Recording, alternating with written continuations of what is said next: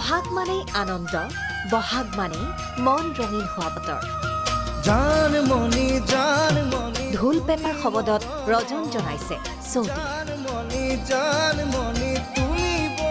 ঢুলীয়াৰ ঢোলৰ চেৱত প্ৰাণ ভৰি নাচিছে ৰূপহীকা ভৰুৱে। বিহুটি যে এতিয়া নগলা মুখত। উজনিৰ পৰা নামনিলৈ সকলোতেই পূৰ্ণ গতিত চলিছে বিহুৰ আখৰা।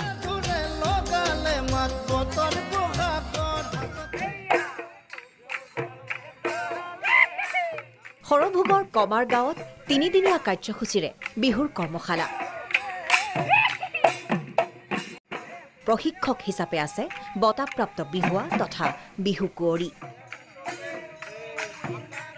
যোৱাবাৰ নাচিব পৰা নাছিলোঁ বহুত দুখ লাগিছিল। যিহেতু এইবাৰ নাচিবলৈ পাইছোঁ তো মানে পূৰা জোচ আছে যেন বিহুটো ভাল হয় আৰু। ইপিনে এই দৃশ্য মৰিয়নিৰ খেৰমীয়া গাঁৱৰ।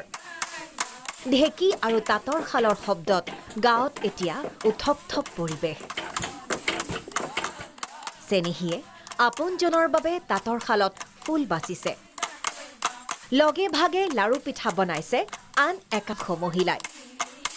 তাৰ মাজতেই কিন্তু পাহৰা নাই এপাক নাচি বিহুৰ আখৰাৰ প্ৰস্তুতিও কৰিবলৈ।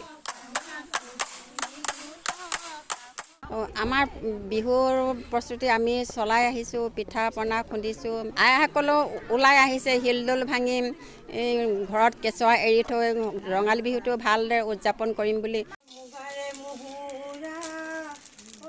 ৰহাটো একেই পৰিৱেশ। আখলত ব্যস্ত বোৱাৰী জীয়ৰী। জলপানৰ আখলতেই বিহু জুৰিছে একাংশ বোৱাৰীয়ে। শুৱালকুছি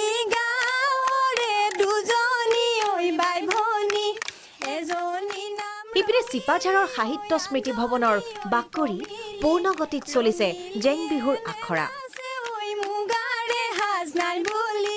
বহুত ভাল লাগিছে। যোৱা বছৰ লকডাউনৰ কাৰণে আমাৰ বিহুটো নহ'ল আৰু যিহেতু আমাৰ বাপতিসাহোন অসমৰ বিহুটো গতিকে আমাৰ যিসকল শিল্পী আছে বিশেষকৈ আমাৰ মহিলাসকল আমিতো ঘৰ ঘৰৰ কামতে ব্যস্ত হৈ থাকোঁ।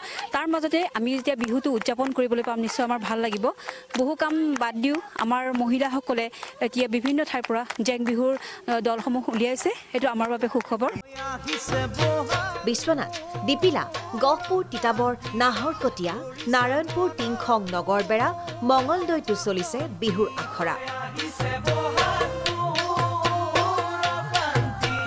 বহুত শিকিছোঁ ইয়াত বিহুৰ কথা আমি বহুত বেছিকৈ শিকিছোঁ আৰু আপোনালোকে দেখিছেই কিমান নাচনি আহিছে আৰু বহুত ভাল লাগিছে ইয়াত কৰ্মশালাত কৰি। ৰঙালীৰ ৰঙত বিলীন হ'বলৈ সাজু হৈছে প্ৰত্যেকজন অসমবাসী। ব্যুৰৰ সহযোগত news desk report Prag news